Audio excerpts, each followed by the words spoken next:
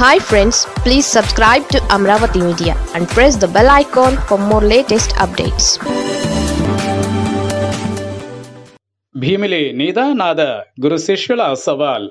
ఏపీలో ఎన్నికల వాతావరణం కనిపిస్తోంది. ముఖ్యంగా అన్ని రాజకీయ పార్టీలు అభ్యర్థుల ఎంపికలో తల మునకలై అవుతున్నాయి. గెలుపు గుర్రాలకే టికెట్లు ఇవ్వాలని అన్ని పార్టీలు భావిస్తున్నాయి. అభ్యర్థుల ఎంపికపై రాజకీయ పార్టీలు ప్రత్యేక దృష్టిని సారించాయి. ఎమ్మెల్యే అభ్యర్థుల ఎంపిక విషయంలో అధికార వైసీపీ ముందంజలో ఉందనే చెప్పాలి.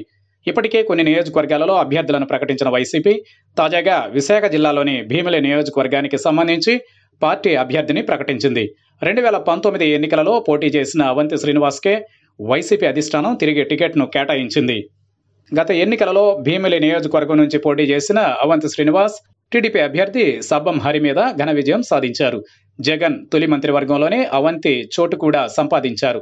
అయితే అవంతికి వ్యతిరేకంగా పార్టీ నేతలు అధిష్టానానికి ఫిర్యాదు చేయడంతో వచ్చే ఎన్నికలలో అవంతి శ్రీనివాస్కి టికెట్ ఇస్తారో లేదో అనే అనుమానం నెలకొంది. కానీ జగన్ అవంతి శ్రీనివాస్కు టికెట్ ఇస్తున్నట్లుగా తాజాగా ప్రకటించారు.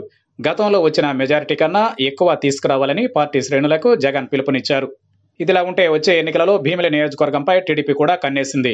వచ్చే ఎన్నికలలో భీమిలి నుంచి మాజీ మంత్రి గంటా శ్రీనివాసరావు బరిలో దిగుతారని సమాచారం. రెండు వేల పద్నాలుగు ఎన్నికలలో భీమిలి నుంచి పోటీ చేసిన గంటా శ్రీనివాసరావు మంత్రిగా కూడా పనిచేశారు. రెండు వేల పంతొమ్మిది ఎన్నికలలో గంట విశాఖ ఉత్తర నియోజకవర్గం నుంచి పోటీ చేసి విజయం సాధించారు. ఆయన రాబోయే ఎన్నికలలో తిరిగి భీమిలి నుంచి పోటీ చేయడానికి సన్నాహాలు చేసుకుంటున్నారు. గంట ఎక్కడ సీటు అడిగినా ఇవ్వడానికి టీడీపీ అధిష్టానం రెడీగా ఉంది. ఒకవేళ గంట భీముల నుంచి బరిలోకి దిగితే పోటీ రసవత్రంగా మారుతుందనే టాక్ వినిపిస్తోంది.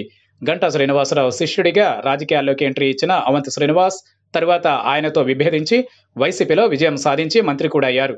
ఒకనొక సమయంలో గంట వైసీపీలో చేరాలని ప్రయత్నించినప్పుడు ఆయన రాకను అవంతి అడ్డుకున్నారనే వార్తలు కూడా వినిపించాయి.